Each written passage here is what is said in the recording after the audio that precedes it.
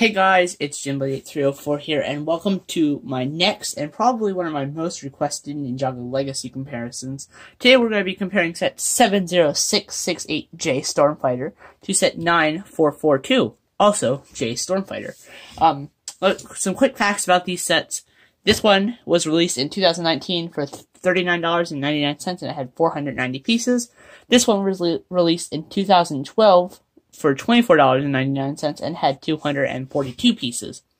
So that'll be part of our value category, which is our first category we'll talk about here. And then there's also playability, part usage, overall look, and the opinion and final score category. So we'll take a look at each of those and uh, we'll determine which Stormfighter is the best. I'm sure you guys have your own opinions and feel free to leave those in the comment section. And um, yeah, let's get on with this comparison.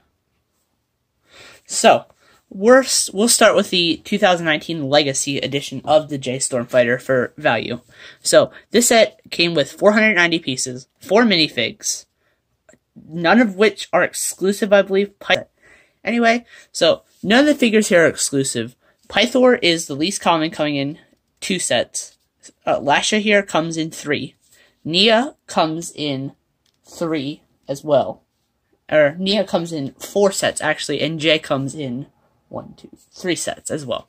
So, Pythor is the hardest to find figure, and probably this is probably the best set to get him in because it's forty dollars and not eighty five dollars.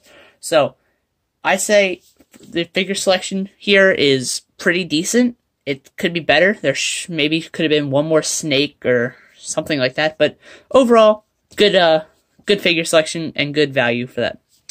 On the right here we have the 9442 Jay Stormfighter.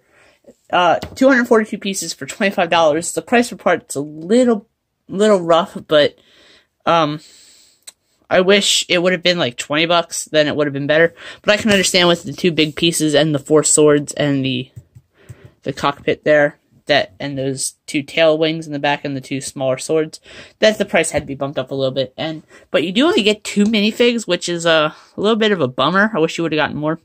Jay and Snappa are not the most common minifigs throughout the 2012 line, but they're not the least common either. They Jay comes in a variety of sets, and so does Snappa. Um, so I'm gonna have to give you the value category to the uh, the new nine or seven of six six eight Jay Stormfighter because four figures, one of which is harder to find. The other three are semi uncommonish, but they're still you can still find them pretty easily. But I and you also get a better price per piece ratio being under that ten cents. I think it's at like eight cents or something like that because almost five hundred parts for forty bucks, so about eight cents. Overall value for this one, this one wins. Our next category for this review is playability. So we will start with the 2012 Stormfighter. So I'll just stick this stuff to the side here. But there's really not that much playability here on this one. There's no spring-loaded shooters, there's no stud shooters, there's no flick fire missiles, there's nothing like that. There's one main playability feature, and that is to push this open and the wings will fold out.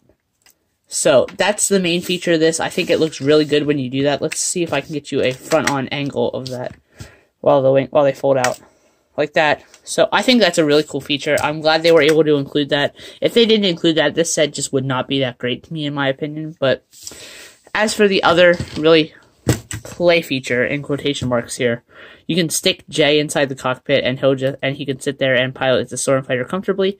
He does not come with his armor piece in this set, which uh, I guess is okay, but I wish it would have come with the armor piece because then it would have been a, a better figure and probably a better value too. But there's just not much playability with this one, so it's a it's gonna be a hard hard way for this one to win if it doesn't have much playability at all as for the new Stormfighter here, there's there's so much. Let's uh I guess we can start with the wing expansion feature. So let's see if I can get this flat on the ground like that, move everything out of the way. So that way you guys can see when I pull this level this lever for forward and it blends in really nice, which we'll talk about that when we get to part usage. When we pull this forward, the wings fold out like that and I think that's great. It looks great. I like the the use of these types of swords better than the just regular um, straighter ones because I think it gives it a more dynamic look, in my opinion. But overall, I think it looks good. You do have some flick fire missiles. If you do not like the look of those, you can just pull those out and they don't bother. They did good with the color choices, and there is another hidden playability feature. I mean, I guess if you want to call it one. So, if you take Jay's Nunchucks of Lightning here, this is um, a thing that Lego doesn't really say you can do, but I figured it out because it, it it's just an empty space. You can fold his Jay's seat down and stick the Nunchucks of Lightning in there and fold the seat back up, and then Jay can pilot the Stormfighter. Sorry about that noise. A pen just fell, but Jay can sit in the Stormfighter comfortably. You can close the cockpit. That looks nice, and these things can move up and down as well. Um, not really a feature, playability feature, I guess, but if you want to have a different look for the Stormfighter, um, I guess that's a thing. These can also move up and or these can move down, really, because you can't move them up, but Overall, I think this one is going to get the win for playability as I just shot a spring-loaded shooter at my hand and that kind of made me jump a little bit, but this one gets the win for playability. Next up, we're going to take a look at the part usage category. So, we'll start with the uh, with the 2012 part, um, 2012 Stormfighter here. So, for the wings, it's mainly built off of one big piece being this giant um, angled wedge plate right here, which I think that's fine. Um, I don't have a problem with that. They did that for the for the new Stormfighter as well, but I wish they would have made the wings a little bit, um, I guess bigger to. I understand why they didn't do that to save on budget, but I just don't don't really like the way it looks with the like the blue on as the base. I wish it would have been black like the new one, but we'll talk about that when we get to the new one. The cockpit is fine, same piece on both sets, no big difference really. I like the use of this engine piece back here and the these pe- these tail fins back here. I really appreciate how they they use that piece in dark blue, which is nice. Um, there's not really much else. The uh, the the blades or the wings, I guess. Um, they are they're fine. They're not great, but they're fine. And I think that's about it for part usage for this one. There's not really much. Um, I like the use of this wheel at the back for the for the jet boosters. I like how they use the rubber band to get the uh, the wings to function the way they do. So let's just take a look at that from the back. Let me see if I can. There you go.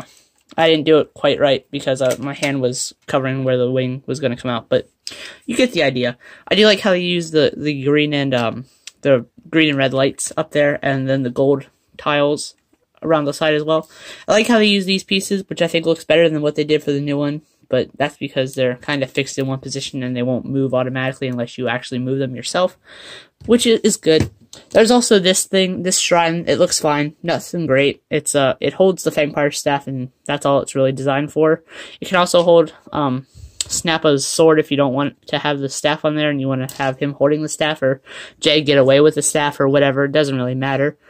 Another problem I have with the set is that it didn't come with the Nunchucks of Lightning, which I can understand why it didn't, because the Nunchucks of Lightning transform into that. But still, it should have been able to uh, to include them to have off to the side when it's in the Stormfighter mode. Alright, let's pull this one over here so we can take a closer look at it. This one has a lot of great part usage. I do appreciate how they built the the um, the cockpit like this. They just did it upside down and they used the hinge pieces in there. And there is no really awkward color showing on this one. There's a bunch of white and stuff showing on that. It shows a little bit, but it's not really noticeable. There's also some dark tan that I don't think looks all that great. But the spring-loaded shooters look fine as well. They can you can use them as like a jet boost if you don't want them to be spring-loaded shooters. I mean, you don't have to launch them if you don't want to. It's not a problem. They also use the same tailpiece this time in regular blue, which I think the dark blue works a little bit better. I like the dark blue and regular blue combination. This one does not have very much dark blue, if any at all. This one also has these uh these lightning pieces, which are really cool. And uh, as I tap the cockpit and probably scratch it, I like how the seat is built and the control stick and the panels up here. They look good. I like how they use these uh, these more curvy swords for the for the wings. I think they look fine. I like the use of the blue Nexo Knight shields. They look great as that. They use a bunch of these gold ingot bars um, around the edges and stuff, which looks fine. And I really appreciate the use of that. They use the black ones over here to give more detailing. I like the, the stickers here. They look fine. This one is not that great. I think it looks stupid. It looks over cartoonified in my opinion, but That's me. I like the sticker on this side, and it's the opposite on the other side, and I just shot another spring-loaded shooter at myself. Way to go. But I do like uh, how this is hidden. It doesn't really stand out as like a giant red handle or something like that. It doesn't do that, which I appreciate. Again, these things I don't really like on here, but I wish they would have been fixed into one spot so that way you couldn't move them at all. But I guess it's a good playability feature for them to have on this set. Again, the wings are built off of one large piece, this time in black, which I think looks a little bit better. Obviously, it's based off of something different, so you can't really say.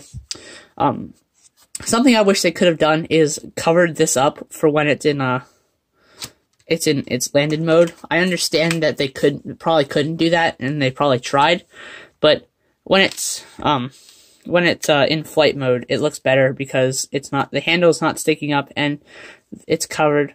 I wish they would have covered off the sides right here. That would have been nice as well, but for the part usage, I'm definitely going to have to give that one to the new Stormfighter. Also, I didn't talk about this little shrine. I think it looks fine. I like they included the Nunchucks of Lightning with this one, as I as I mentioned before, and I think the Nunchucks of Lightning look great with that new uh, dragon handle piece that they introduced last year with the Hunted sets, and I hope they find more great uses for that in the future. So as for the overall look, you guys know which one this is going to go to. It's going to go to the to the new Stormfighter, the 70668 Stormfighter.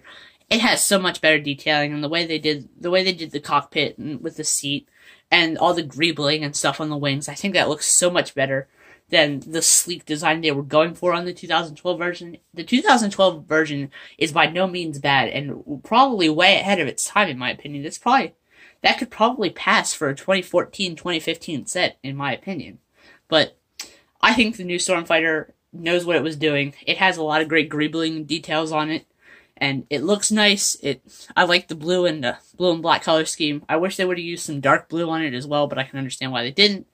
Maybe some translucent blue as well. They could have covered up some of the the hidden gaps a little bit better, but it's fine. Nothing really big there. Um, the 2012 version does cover up all the gaps and stuff really nice.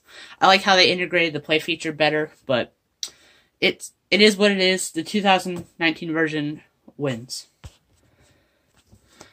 So, the 2019 version wins with a final score of 4 to 0. No surprise there, not at all. It's it's just better. It's so much better. There's no refuting that. If you guys like the 2012 version better, that's fine. I think the minifigs are so much better in this set considering you get four compared to only two. The value is there, the design is there, the look is there. It it fits in. If you can get this set for even cheaper, good for you. Get that for like $34 or 30 bucks or whatever, 20%, whatever 20% off is, it's probably like $32 or something like that. If you can find the the old Stormfighter for cheap for like $15, $20 complete, I would get that. That's not a bad deal considering it retailed for for $25 it has 242 pieces. So make sure you look at on eBay or Bricklink to make sure you know what you're buying and make sure it, it is complete or if it comes with a box or instructions or not. The instructions are available online, but still. So this one gets the win, the 70668. That's my opinion. I'm sticking to it. Let me know what you guys think in the comment section below, and I will see you guys in the next video. This is DjinnBlade8304, signing off. Bye.